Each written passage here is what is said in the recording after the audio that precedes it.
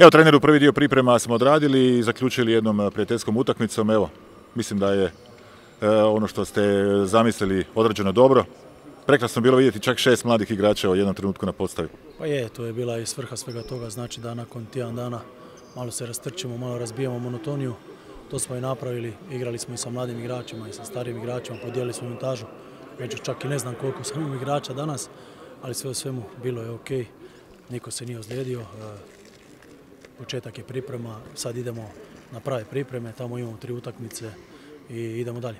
Kreću li i ovi klinci, idemo ih tako nazvati s vama i evo kakav je plan tamo? Pa da, ide pet igrača mladih s nama, e, uz te mlade koji su uz nas, znači naše mladiće iz prve ekipe i to je više manje to i tamo je plan trenirati dva put dnevno, odigrati tri prijateljske utakmice, znači sa Sloven Gracom, sa cijelim Pivarom Laško i sa Ferenc Varošom, sa Mađarima.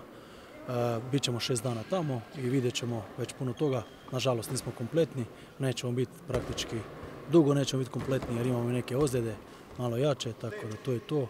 Ali šta je tu je, e, moramo raditi, moramo biti fokusirani na rad i to je najbitnije. Veseli povratak Kojena? Pa je veseli, ali vidi se još da sto prvi koraci, ajmo reći, nakon ozljede, nakon operacije i polako. Sretan put i sretno u Velenju. Dankeschön.